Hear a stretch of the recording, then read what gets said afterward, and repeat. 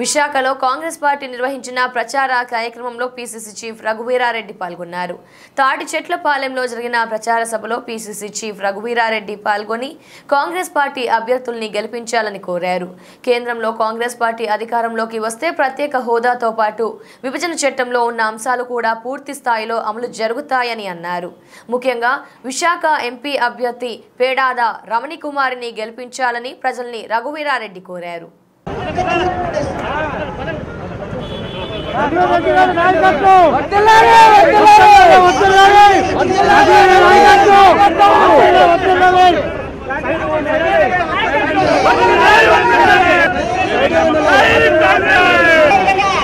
Science నియోజకవర్గ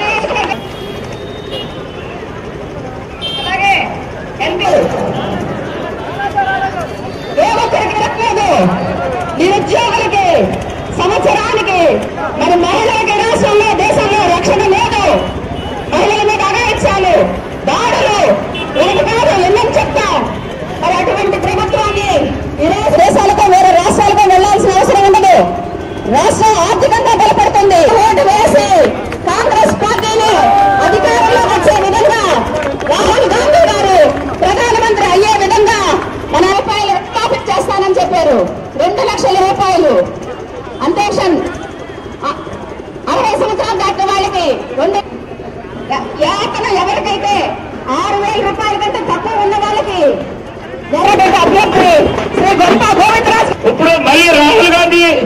అలాగే మన రఘువీరయ్య గారు ముఖ్యమంత్రి కాబోతున్నారు. ఎందుకంటే రెండు వేల పదకొండులో ఎటువంటి పరిస్థితులు గుర్తించుకోండి.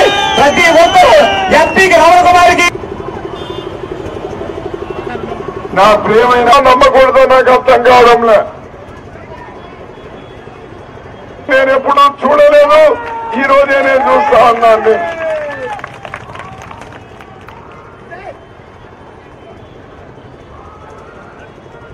రా గాంధీ గారు